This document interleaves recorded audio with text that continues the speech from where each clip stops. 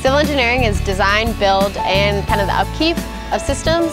Systems can be roads, they can be bridges, they can be buildings. Airports to train stations to actual office buildings to roadways, freeways.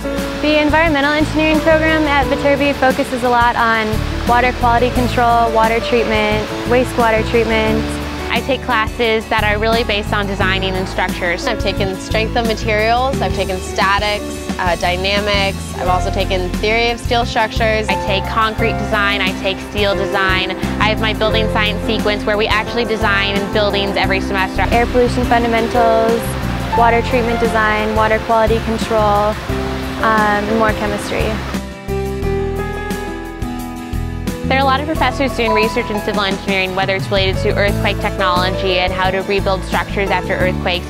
They're also doing a lot with waves and water research and maybe going even into energy fields, so like how to get energy from the ocean and different things like that. I'm actually involved in a microbial fuel cell lab on campus and we are doing research by taking wastewater from the treatment plant and using it to create electricity.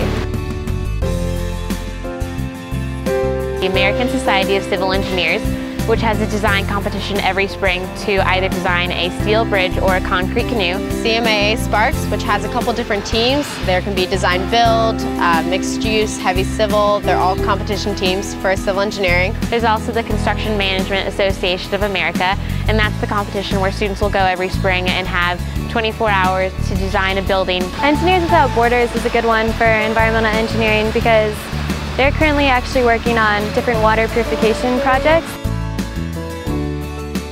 I have a lot of friends in civil engineering that are going right into the construction industry. My end goal is to work as a project manager. So I want to be in charge of a building or a road or a highway and see that start to finish and be able to say like that is mine, I built that. I would love to work with sustainable building design or renewable energy.